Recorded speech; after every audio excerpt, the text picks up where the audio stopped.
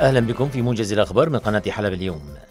حركة حماس الفلسطينية تدين القصف الإسرائيلي لمواقع النظام والميليشيات الإيرانية في مدينة مصياف غربية حمام أسفر عن سقوط قتلى وجرحى.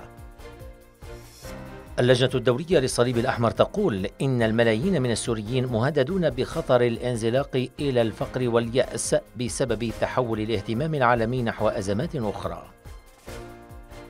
جرحى في صفوف الجيش التركي جراء استهداف قوات النظام القاعدة التركية في منطقة الشيخ سليمان بريف حلب الغربي بقذائف المدفعية.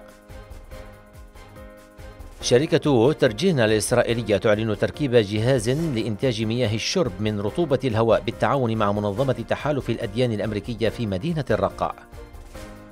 الرئيس التركي رجب طيب أردوغان يعلن رفض بلاده لقرار واشنطن بشأن إعفاء مناطق سيطرة قسد من العقوبات المفروضة على سوريا.